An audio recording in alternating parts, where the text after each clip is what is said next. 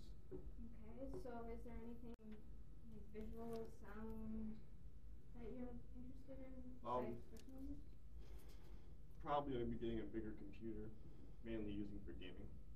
Okay, so right here we have a Lenovo laptop. It has um, a 14-inch um, screen. It also has HD graphics. Um, this has um, a three-year warranty, and it shows you some of the features it has. Alright, um, I was actually wondering if you had a laptop with a bigger screen size. Uh, no, I'm sorry. Alright. Um, do you know how big of a RAM it has? Um, no, I'm, I'm sorry, I don't. Alright. Is there anything else I could be getting with this for like a different keyboard? I could work with this? Um, if you get a keyboard, you're gonna have to do a USB. Is that alright?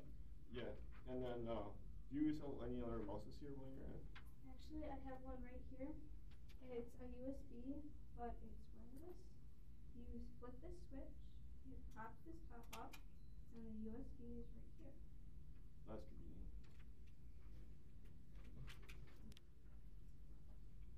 Any questions?